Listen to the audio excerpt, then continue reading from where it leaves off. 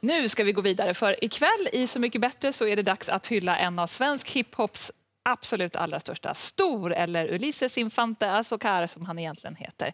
Med album som Under broarna och Nya skolans ledare har han imponerat det senaste decenniet och nu imponerar han även i Så mycket bättre. Och han är en riktig skaparsjäl som brinner för detaljer och budskap i sina texter. Och i veckan så träffades Stor och jag på Söder i Stockholm när han passade på att göra flera saker samtidigt. Kolla här.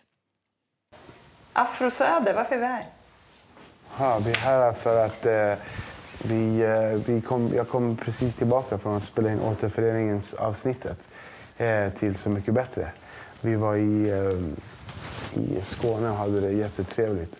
Så att nu eh, blev det Afrosöder bara för att det... Du behövde få en liten haircut. exakt, exakt. Din frisör var ju med också på Gotland. Ja, precis. Det såg Så vi i Charlottes avsnitt förra veckan. Precis, chef var med. Han klippte mig, Albin och eh, Erik. Men Christer han ville, han ville inte. Men, men han klippte nästan, nästan allihopa. Det var, det var kul.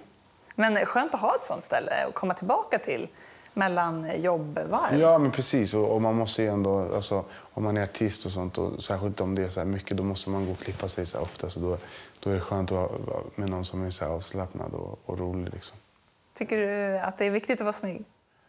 Nej, faktiskt inte. Men alltså, det är en del av mitt jobb. Ja.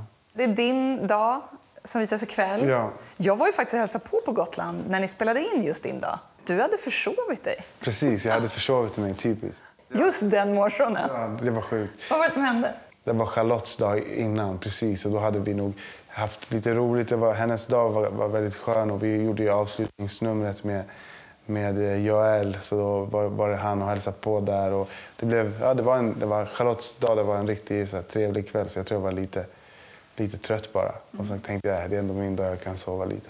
Men det var bra för då fick min kusin synas i tv och han är en väldigt viktig person i mitt liv och jag ville visa upp honom. Så det var kul. Ja, för din kusin kom över och eh, Ja. skulle hjälpa dig laga mat. Men du, han fick ju stå och laga all mat själv. Han lagade, och Charlotte faktiskt. Charlotte, eh, Charlotte har varit väldigt viktigt. Alltså hon, har verkligen, hon, är, hon har verkligen räddat många av oss i programmet. Det måste jag säga. Med att fixa till lite och sånt. Hon är väldigt, eh, vad säger man, omtänksam och så. Och, och, så det, var, det, var, eh, det var han och Charlotte som gjorde pirogerna faktiskt. Ja, för du berättade för mig i somras att du hade ju verkligen så här second thoughts inför och Ja. visste inte om du skulle tacka ja och så här. Men, precis. men eh, det låter ju som att Nej, du var alltså, väldigt glad att du ja, var med. Jag, jag är jätteglad att, att jag var med. Eh, det var en väldigt svår utmaning som jag klarade av. Det byggde en väldigt stark styrka i mig själv. Så det var väldigt, alltså, det var väldigt terapeutiskt att vara med Så mycket bättre för att man, man såg det och så förstod man liksom att sina, alltså, sina styrkor bättre och sen förstår man också sina svagheter och liksom att det är ganska enkelt att, att göra någonting åt dem. Alltså när man ser sig själv så. så det, jag har blivit väldigt, jag vet inte, jag är väldigt glad och lugn och tacksam inför allt som att få jobba med musik på det här sättet och den enorma responsen som jag har fått liksom, från alla typer av människor. Du har skrivit en låt till din pappa. Precis, ja. Inte till mamma som många andra gör. Nej. Varför blev det så egentligen? Nej, men jag har alltid tänkt så att det är svårare att skriva, alltså om jag ska skriva en låt till min mamma då måste den vara väldigt bra för jag skulle inte kunna släppa, alltså leva med mig själv att släppa en så här medioker mammalåt. Den måste verkligen vara, så den, den, den får vänta. Så du började med pappalåten helt Ja, enkelt? typ. Ja. Ja. Jag har fått mycket av min pappa och jag, det var nice att göra den låten. Och det var inte, när jag gjorde just den låten, det handlar inte bara egentligen om min pappa, det handlar liksom om andras pappor. Alltså många är liksom invandrare som liksom man får höra liksom att ja, men ni kommer hit och ni gör det här och olika grejer. Och så har du bara sett din pappa jobba och kämpa hela livet. Och då, då, du vill ju bara är därför jag säger i låten, ge mig inte äran att bli kallad invandrare. För jag har inte gjort det min pappa har gjort. Det är för att jag hyllar liksom honom. Jag är född här. Jag bara, får inte ens kalla mig invandrare. Jag har inte ens det privilegiet att bli kallad det. För det, en invandrare, det, det är min pappa. För att du är som- supersvensk. Det är han som har vandrat, det är han som har kommit in här. Jag, jag föddes här. Liksom, så det, det, jag har inte gått igenom det som han har gått igenom. Jag har inte fått kämpa det som han och min mamma har fått kämpa på samma sätt. Så att jag var, för mig är det liksom, ge mig inte den äran att bli kallad invandrare. Liksom. Men, eh, och det är ju, eh, du är ju inte ensam om att ha en nära relation till pappa. Jag tänker på Christer Sjögren Ja, precis. som Christer, valde ja. just pappas Precis, låt. ja. Men du, stod, du har ju inte sett någonting från ditt program, eller hur? Nej, från det din har jag dag. inte. Nej. Så jag har en liten överraskning med mig här Är till det dig. sant? Jag tänkte visa dig en sak här. Jag var din lärling, gjorde allt du bad mig om. Och jag satt på dina axlar, där fick jag följa världens gång. Och jag minns när jag var liten och du alltid hade svar. Skulle vilja backa tiden, hur många dagar har vi kvar? Sen nu när jag tittar på det, att, jag sitter, att, att Christer Sjögren står och sjunger och jag blir så här tårögd. Det, det, det, är liksom något jag aldrig trodde att jag skulle göra liksom, i mitt liv direkt. ut.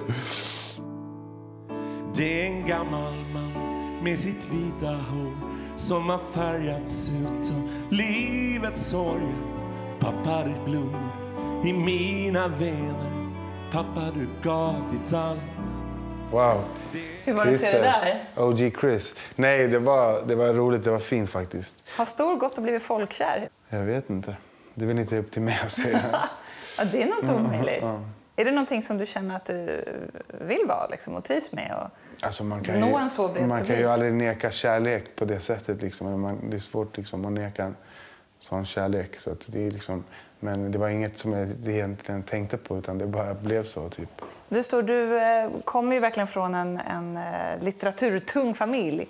Både mamma och pappa har rötterna i litteraturen och poesin. Ja, Och, och ja. Du har läst alla klassiker som går att läsa, tror jag. Och det märks ju när man läser dina texter. Ja, hur, precis. hur, hur tas de texterna emot i hiphopvärlden? Nej, alltså, de gillar dem. jag vet inte, de är, det är man får ju mycket... Alltså folk gillar ju ändå när man gör något som inte låter som allt annat. Liksom. Det, det är alltid respekt. Liksom. Men gå din egen väg är, är viktigt. Ja, det är väldigt viktigt faktiskt. Har du liksom hittat hem själsligt nu? Din plats i världen? Absolut. Nej, jag, jag är väldigt eh, stabil i mig själv nu faktiskt. Och jag är glad över, över liksom allt man har gjort och det har verkligen varit en, en, en resa. Och det är därför som faktiskt min, eh, min nya skiva som jag ska släppa, den heter Ithaka. För att som jag är döpt efter Odysseus. Och han eh, var ju på en, en resa. Och han skulle hem till Ithaka till sin fru. Men han försvann lite på vägen liksom. Och, och, eh, och jag känner mig verkligen så nu. Så det är därför min, min skiva där de här låtarna och några till ska vara med, den ska heta faktiskt just Ithaka. Men så har Så mycket bättre fått dig att hitta hem? Alltså Så mycket bättre var ju väldigt slut. Det var det sista provet egentligen. För att det var... Ja, man var tvungen att vara sig själv framför så många människor. Och efter man var det, då blev man väldigt bekväm med det. Så att... Så att absolut. Bra! Tack snälla Stor. Okej, tack så mycket.